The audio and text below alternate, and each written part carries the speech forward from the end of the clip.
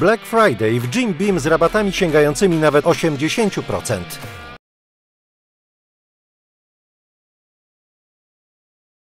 Małgorzata Brzezińska, TV Reklama, ze mną Antoni. E, ponownie rozmawiamy, jesteśmy w trakcie bądź e, pod koniec e, MMA Fight e, Stars Fight. O, co ty o tym myślisz? Nie chcę jeszcze rokować, niech kurz opadnie.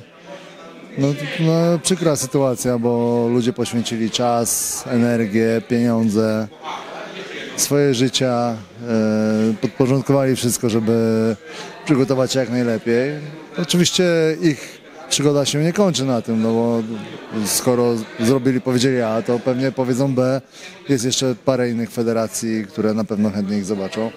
A co do tej federacji, no to życzę jak najlepiej. Mam nadzieję, żeby powstała z popiołów i jednak, żeby ta inicjatywa, która jest nomen omen e, innowacją trochę w freak fightach, że- żeby się zuściła i miała miejsce. No. Szkoda, że dzisiaj tak to wyszło. E, Jakieś, nie, jakieś niedociągnięcia, no, każdy jakoś zaczynał, każdy stawiał pierwsze kroki. Mam nadzieję, że jakoś wyjdą z tego ogromną ręką i że to się odbędzie kiedyś. No. Na dzień dzisiejszy ciężko jest rokować. No. Rozmawiałeś już ze swoimi podopiecznymi po tej sytuacji? No, no tak, jestem po rozmowach. Michał jest bardzo zawiedziony, no bo dał ca całego siebie. Naprawdę, to, tak on się poświęcił po 2-3 treningi dziennie.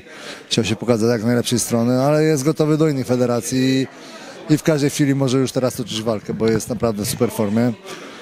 E, Paulina tak samo jest nadal chętna trenować, Dominika tak samo, więc mm, dalej do przodu. No. To, to, że jednak kłoda poleciała na dół, to nie znaczy, że trzeba się poddawać, nie?